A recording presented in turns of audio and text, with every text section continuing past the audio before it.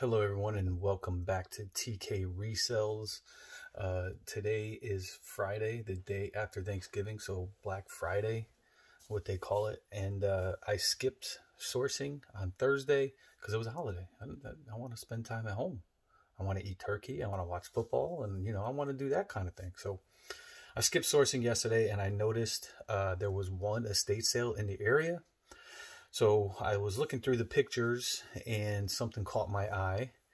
And it was three bobbleheads. It was uh, Kansas City Royals ketchup, mustard, and relish bobbleheads still in the package. And that was my goal of going there. So I go there and uh, it opened at 10 and I got there about 11:30ish kind of in that area and there was a line to get in cuz of course nobody has work today and or Friday. Nobody works. So uh, waited for a little bit and finally got in. And I looked for the bobbleheads all throughout the house and they were gone. So somebody in the first hour and a half picked out the bobbleheads. Those are bobbleheads that I look for. They're, they're actually pretty hard to find. And I believe the ketchup one sells for about $90 all by itself. But that was the reason I went on the other hand, I went to find other cool things, and I happened to find a bunch of cool stuff there, and uh, I spent uh, about forty five bucks of their price on stuff. So I'm going to share with you what I got. It's actually some cool stuff and uh, good profitable items. Uh, the one thing that I do not have out here is a uh, a 27 inch CRT TV with VHS and DVD player um, I purchased it there. Part of this $45. And uh, it's too big to put on eBay. So I am either going to put it up on uh, a local marketplace or sell it to a friend who was looking for a TV like that. So we shall see. That is the first item. Talked about it. It's gone. Don't no longer have it. So this was a big house. They had a lot of rooms, probably 15 rooms, and they were all fairly big sized. And I happened to go down into the basement and I found a bunch of electronics and tapes and stuff like that. So that was the first thing I grabbed and I put it in my, my bag. So three Scotch uh, BX60 cassettes, all three together will sell on eBay for about 15 bucks. So that, that was pretty nice. Then uh, uh an RCA one, just random. Uh, it might sell for five bucks by itself. Who knows? Uh, then I picked up these TDKs, a four pack, pretty much a four pack. There's four of them there. Uh, around, I want to say around 20 bucks for these four. So right in the next room over, uh, there was a table laid out and they had a whole bunch of things. And I started seeing these Sony Walkmans. Sony Walkmans. Look, it still has its instructions. Sony Walkman. Sony Walkman. I'm like, okay, how much how much is the price tag? Well, two bucks. Okay, let me put that in my bag. Walk a little bit farther down. How about a little Sony Walkman? Two dollars, no headphones, but still pretty neat. And then I walk a little bit farther down, and what else do I see? Sony Walkman with the headphones. Two dollars. So I grabbed all three of those, grabbed the headphones, put it in my bag, and kept looking around in the same room uh, on the floor, I picked up a little starter fanny pack. And this is a, I believe it's a vintage one. Yeah. 1998 NCAA Women's Final Four, Kansas City, Missouri. Going to Kansas. So I didn't even look inside it. There might something inside. Nope, nothing inside. Anyway, here's the price tag. Two bucks. Two dollars too shabby on that end. Then you keep walking. And for some of you, you're a big fan of WWE, WWF. Well, here's two good ones. WWF in your house and WWE Divas Undressed. Uh, this one sells probably about 8 bucks, and this one sells for a little bit more, 15-ish. Uh, again, I think they only charged me a dollar for these, but I'm not really sure. And then, like I always tell you guys, I always pick up sealed Walt Disney uh, VHSs because these actually sell pretty well. This one is probably only like a eight dollar, seven to eight dollars, but I'll bundle it together with four or five other ones, and I'll send it out in a package. So I thought that was cool. Now, if any of you watched the previous one, oh, I shaved by the way. I, I trimmed my beard a little bit. Let me know if you guys like it. Anyway, uh, I found the Betamax player uh, not too long ago, and it turns on. I checked it out, and it turns on, and the buttons work, but I didn't have any Betamax tapes. Well, I happened to find two Betamax tapes. I mean, it's I've never seen Betamax tapes out in the wild before, so just to find them and then have a Betamax player, like it just up the price if if they work. So uh, again, I think I paid a dollar for these two. But again, I've never found a Betamax out in the wild before, so I was kind of happy and excited about that. So then I go upstairs and it's all the bedrooms. And I got uh start looking through them and there's another person in in it's a big walk-in closet. And uh I start going through and I pick out one. So I grab this shirt. It's, you know, nothing's too special and crazy. Orlando Planet Hollywood. Uh, it's a vintage shirt. Uh, I don't know where the. Again, it, it's pretty cool. And then got another one, nice little Planet Hollywood. Uh, this is Arnold Schwarzenegger version. You can see it on the back. So nothing special, right? Keep going, keep going, keep going. And I find a nice Chief sweatshirt. Uh, Crabble Sportswear Extra Large. Pretty cool embroidery, you know. That's nice. Then I get about halfway in and I see this and I'm like, what in the heck? I haven't seen one of those in a long time. Spuds MacKenzie Bud Light. Great graphic on the back. Vintage from 1986. Look at that bad boy. So yeah, that was that was the clothing that I got from uh, from this. Oh, I got one more. Let me show you one more before I go to the next thing. So I paid up $5, if you want to call that being paid up, but these are 1978 CBS Toys holster and belt from the Lone Ranger. There you go. It's not, I don't think it's leather. It feels more like a heavy plastic. Yeah, it's a plastic. And uh, from 1978 CBS Toys, uh, it's complete. There's no real, like, they're in pretty good shape. So uh, I'm going to get, and I would guess anywhere between 30 to 40 bucks. So yeah, not, not too shabby there. And then I got a couple other things, but let me do something real quick. All right, I'm back. Had to go take care of something real quick. So we did the holster and the gun holsters. And then we got two more items from this uh, estate sale.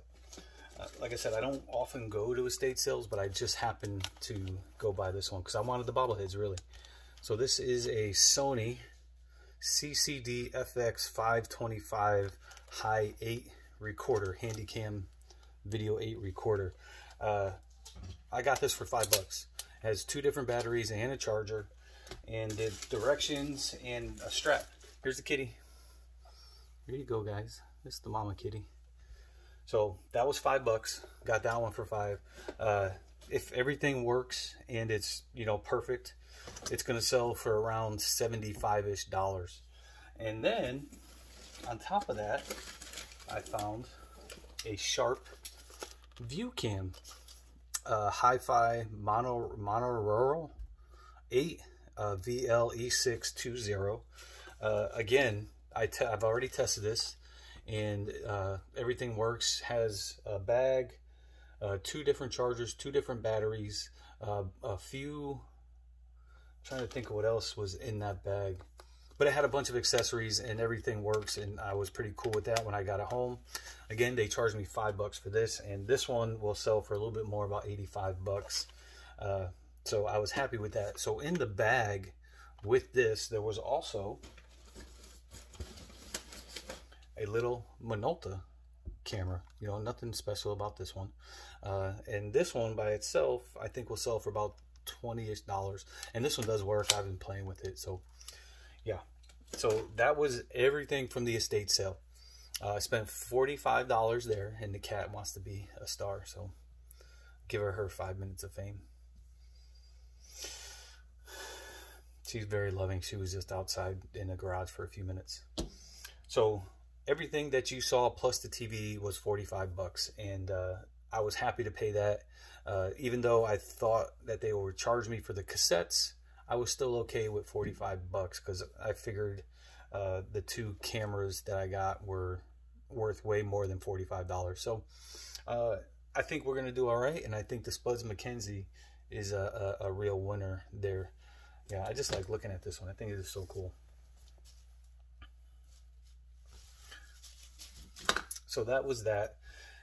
And about 15 minutes away from there was a Savers, so I decided to run to the Savers and grab stuff as well.